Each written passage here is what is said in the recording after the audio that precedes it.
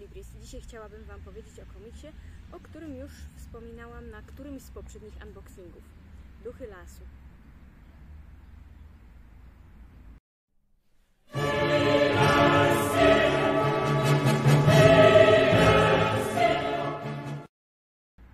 Jest to komiks mojej koleżanki z Discorda. Pozdrawiam Cię, Ewika, serdecznie. Ewelina Jarząbkowska. I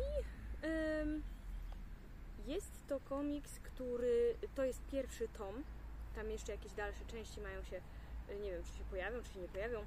Fajnie by było, jakby się pojawiły. E, I jest to dosyć niszowa sprawa, e, gdzie mam parę, jakby to jest takie trochę bardziej, bardziej amatorskie niż komercjalne. Więc myślę, że wiele można wybaczyć takiej formie. I mm, powiem tak, mam parę zastrzeżeń, e, ale też jest, jest parę plusów, które myślę, że przeważają i dzięki temu, że są te plusy, to ja Wam będę polecać ten komiks. Przede wszystkim z takich zastrzeżeń e, myślę, że mogę wymienić to, że e, przynajmniej na początku, bo później troszeczkę się to tak rozmywa, ale przynajmniej na początku dialogi są trochę takie jakby jakby to powiedzieć trochę łotpadowe. Przez znaczną część e, komiksu czułam się trochę jakbym te dialogi e, czytała, jakbym czytała po prostu, e, nie wiem, jakby jacyś moi znajomi robili roleplay. I to jakbym czytała po prostu te dialogi znajomych, którzy robią roleplay. Po prostu te dialogi są takie mm, bardzo, widać, że są pisane pod dialogi. Przynajmniej ja miałam takie wrażenie.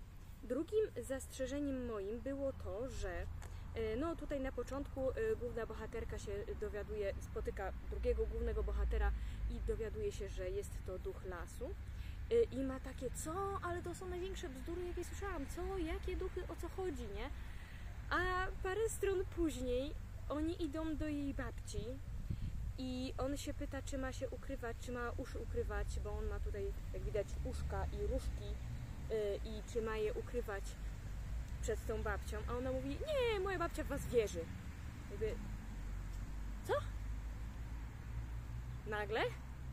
Generalnie to jeżeli byłaby taka sytuacja, że ta dziewczyna by wiedziała, że ta babcia wierzy w te duchy lasu, to dowiedziawszy się od tego typa, że jest duchem lasu, to by miała takie, a, czyli babcia miała rację.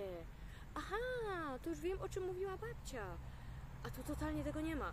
Więc to jest takie troszeczkę z dupy. Y, to jest takie, do, jakby, no nie wiem, można by to po prostu poprawić czy naprawić, y, ale, ale nie jest to jakieś takie strasznie rażące. Po prostu miałam takie troszeczkę y, chwila, moment. I to tyle.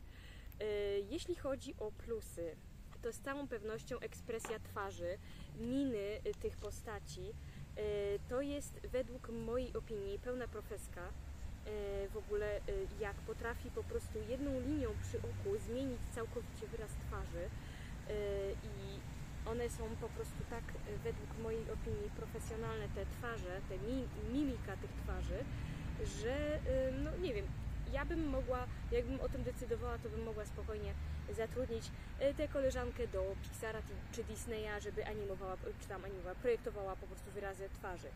Z całą pewnością.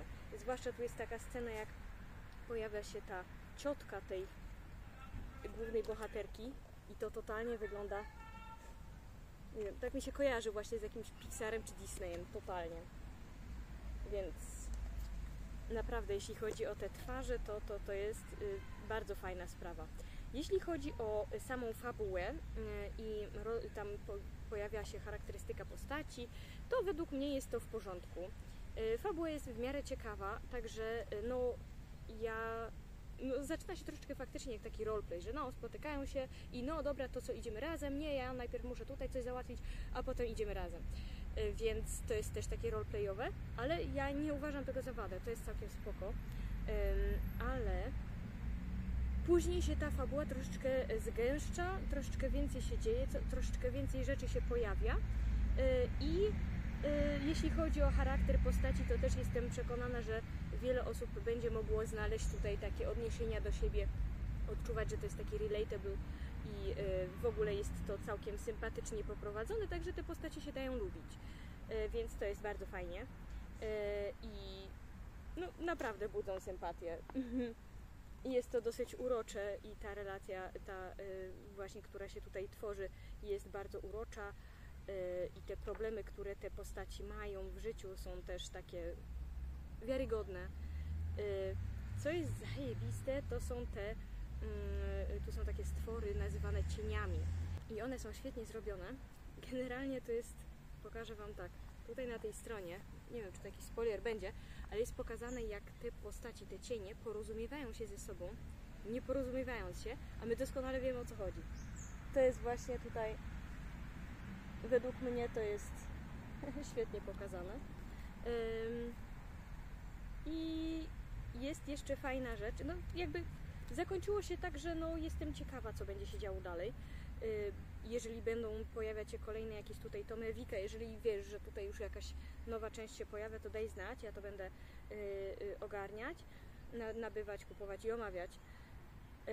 I co jest jeszcze fajna rzecz, tutaj są, no tu są jakieś tam projekty postaci i są pierwsze wersje stron, z czym, z czego y, tutaj jest scena, gdzie oni znajdują kota i według mnie ta pierwsza wersja jest bardziej zabawna, jak on reaguje tutaj na tego kota i ym, jak, jakby to bardziej rozbudowane jest to. Nie wiem dlaczego zostało to skrócone, ale w- według mnie to ta wersja z tych pierwszych stron właśnie o tym kocie jest y, fajniejsza. Więc fajnie, że dostaliśmy tutaj w tym egzemplarzu także te wersje pierwszych stron. Ym, I jak chcecie wiedzieć coś o fabule, no to po prostu te dwie postaci tutaj, jeden y, to jest duch lasu, który tutaj stracił y, y, swoje środowisko i szuka czegoś, co mu przykazała po prostu matka, że ma to znaleźć za pomocą takiej kuleczki. I dziewczyna, która też straciła rodziców i ona po prostu szuka swojego miejsca na świecie. Więc tutaj po prostu mamy taką historię drogi, coś takiego jak film drogi, tu mamy komiks drogi, y, tylko że no, ta droga dopiero się zaczyna, więc jeszcze nie ma tej drogi tak dużo, przeżywają jakieś przygody. Jest to całkiem spoko. Jestem po prostu zainteresowana tą fabułą, bo chcę wiedzieć, do czego oni dojdą, co oni tam znajdą i gdzie ta kuleczka prowadzi. Y, Więc y, no, myślę, że to będzie ciekawe przeżycie, żeby, żeby przeczytać resztę tomów.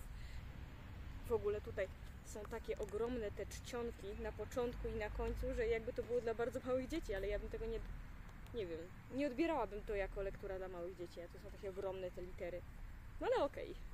W ogóle to jest fajna czcionka, bo to jest tak jakby pisane ręcznie i to jest też, fajnie się to czyta, jest to ciekawa sprawa. Fajne. Jestem ciekawa, jak się rozwinie dalej. Polecam Wam to ze względu na to, że jest to dosyć niszowa rzecz. Nie jest to coś, o czym się mówi głośno. To nie jest coś, co doczeka się jakiejś ekranizacji, przypuszczam, a szkoda. Fajnie by było zobaczyć tą animację taką właśnie w tej formie. Mm, I no, myślę, że to jest coś, co warto też wspierać niszowych artystów. Także zapraszam do y, lektury. Postaram się zamieścić w opisie link do zakupienia tego y, tomiku i mam nadzieję, że Wy też y, uznacie, że to jest fajne i ciekawe. Jeżeli macie jakieś opinie na ten temat, zapraszam do komentarzy. No i co więcej mogę Wam powiedzieć. Czytajcie, wspierajcie niszowych artystów. I popatki!